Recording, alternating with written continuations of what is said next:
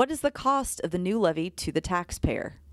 We've worked with the Hamilton County Auditor's Office to determine the property tax millage rate that will be needed over the 30-year life of the bond issue. What you will see on the ballot in November is a 4 mill bond issue rate. That being said, to minimize the impact of the cost on the taxpayer, we are going to structure the debt so that the cost will be no more than 2.4 mills more than what you're currently paying for taxes. By structuring the debt this way, the increased cost over what our community members currently pay for the issue will be not more than $84 per $100,000 of market value of their home. Taxpayers currently pay 2 mills in property tax for bond issues.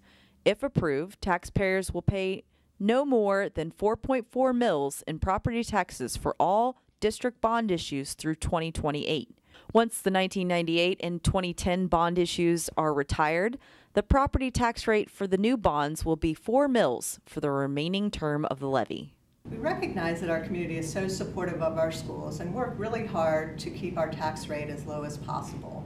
Sycamore is 20th out of 25 in comparison to other schools in Hamilton County, along with Mason and Kings, our neighboring districts to the north. If this bond issue is approved, that will change to 19th out of 25. We're working very hard to keep your tax rates as low as possible while maintaining academic excellence for our students here in Sycamore.